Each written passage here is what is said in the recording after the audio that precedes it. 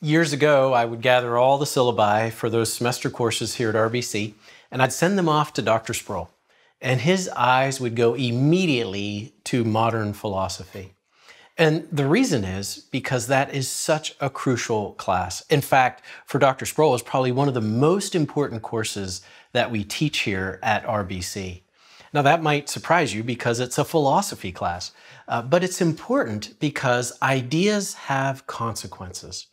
And the ideas that come out of this, the, the modern era, or sometimes we call it the era of the Enlightenment, those ideas have truly made their way into this modern moment in which we find ourselves and have influenced all of these isms that we see and all of the challenges that we face.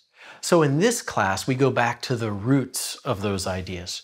We go back to some real heavy hitters in philosophy, to Descartes, to John Locke, to David Hume, to Immanuel Kant.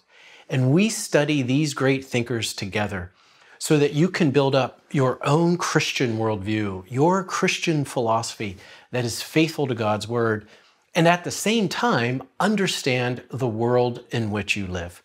So I think this is truly an important course, Modern Philosophy. I'd love to have you join me in it as we study these thinkers and these ideas together.